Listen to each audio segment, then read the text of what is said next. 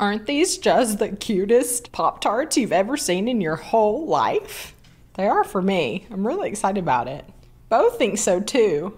He says they're really cute, you guys. Hey you guys, I'm Rishon from Food Stylist Versus, and sometimes I like to do little crafty things in the kitchen that don't require a whole lot of prep and don't make a huge mess. You feel me? So I'm gonna show you guys how I make homemade Pop-Tarts and believe me, it's gonna take a super cute picture. So we all are familiar with a pre-made pie crust product. It's rolled up already into a sheet, which is super convenient. I have a little bit of flour on my counter surface here. That's just to keep this pie crust from sticking. And you can see it's in a round. Well, Pop-Tarts aren't round. So a couple tools that I have to get started with this uh, homemade Pop-Tart is a ruler and a paring knife, or really just like a small sharp knife. I'm not actually making any measurements, but the ruler is gonna help me cut straight lines because I know I'm not the only one that has problem cutting in straight lines. I'm making little notches, basically a rectangle border that shows me where I'm gonna need to cut the edges off of this round pie crust. And then with my ruler as a guide, I take off one of the edges. Boom, straight edge, just like that. Now we're just gonna cut that in half. I'm gonna transfer these pieces of pie dough to a baking sheet covered with parchment paper. And don't worry, I definitely have a plan for all of those pie dough scraps. Stay tuned for that. Now I'm gonna take a toothpick or a chopstick and on two of the sheets of pie crust, I'm gonna poke holes. These holes are for venting, but they're also sort of like an iconic thing that you see on a Pop-Tart are those holes on the top. So we're kind of doing both. Okay, so now this pie dough is gonna go in the refrigerator to chill for probably just about 10 minutes. And then we'll put our jam in the middle. We'll get jamming. Once you've got your pie crust that's been cut out and chilled, you're gonna take about a tablespoonful of the strawberry jam or whatever kind of jam you decide to use and put it on in the middle of the piece that you did not poke the holes onto. And it might be more like a tablespoon and a half.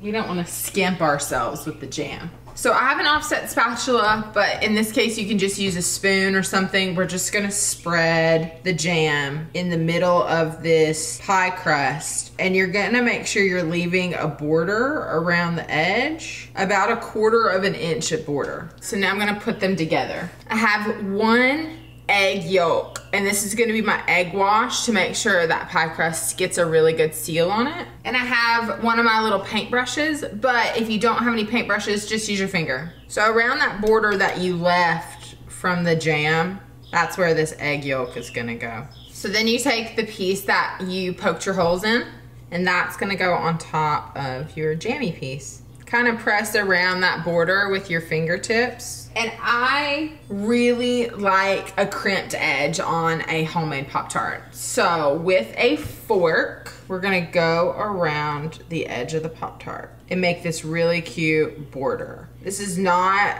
a detail on a traditional like store-bought classic Pop-Tart, but I do, I just think it's so cute. And plus it really helps that pie dough stay together, which we don't want our Pop-Tarts to explode. Fingers crossed. Not explode, explode, just like we don't want the jam to come out. Like how violent is this homemade Pop-Tart situation if they're gonna like explode? Here are my first two Pop-Tarts. Woo! Woo! I'm trying to show them to you, but it's not cooperating. So these guys are gonna go in the oven at 400 degrees for like eight to 10 minutes.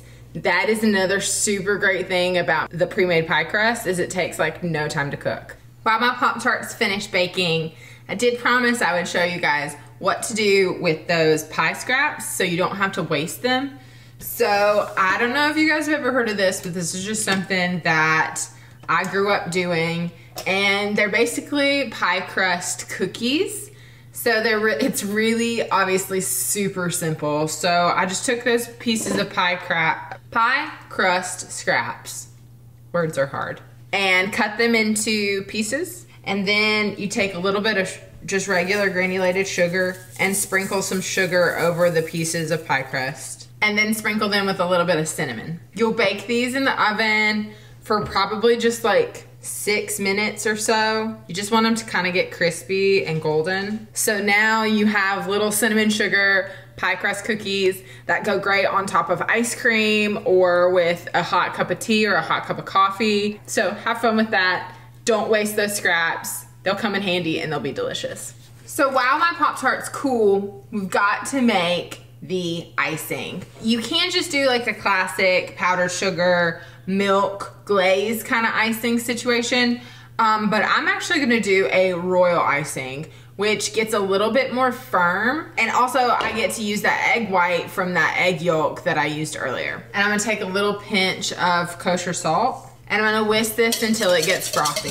Frothy like so. And then I'm gonna add two cups of confectionate or powdered sugar to the egg white. I'm gonna do just a squeeze of lemon juice. That's probably like a teaspoon, not very much. And about a half teaspoon of vanilla. And I should probably get rid of my whisk because my whisk is not gonna do it for me right now. Didn't I say something about this being like less of a mess? Well, the spatula worked so much better than the whisk. So here is my royal icing and the lemon flavor in there is actually gonna go really great with the strawberry. It's very thick if you can see, but it's gonna hold up really, really well.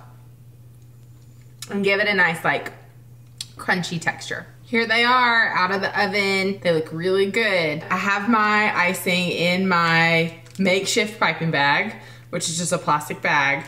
And I cut a little tip, the tip off of the corner there. I'm first gonna start by doing kind of like a little border. And now I'm just gonna fill, like kind of zigzag it in. And with my offset spatula, just sort of like spread that icing out that I zigzagged in the middle.